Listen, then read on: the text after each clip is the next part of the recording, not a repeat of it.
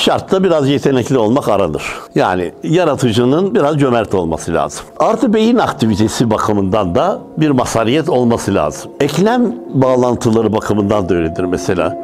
Yumuşak eklemliler vardır. Boynunu neredeyse arkaya çevirir. Kolunu böyle yapar. Bacağını buraya koyar. Yani fizik, fizyonomi, beden yaratılıştan doğru dürüst ve aktörlüğe uygun olursa yapılır. Ancak bunun bir parantezi vardır. Komik olmak için biraz deforme olmak şart. Bizim geleneksel tiyatromuzda da kavuklu arkası gibi kullandığımız cüce vesaire onlar hep bunlara örnektirler. Oradan gelen şekilde de böyle kullanılır.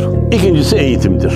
Eğer çağdaş bir e, Türkiye'de aktör olunmak isteniyorsa yaratıcının verdiği yeteneklere ilave eğitim şarttır.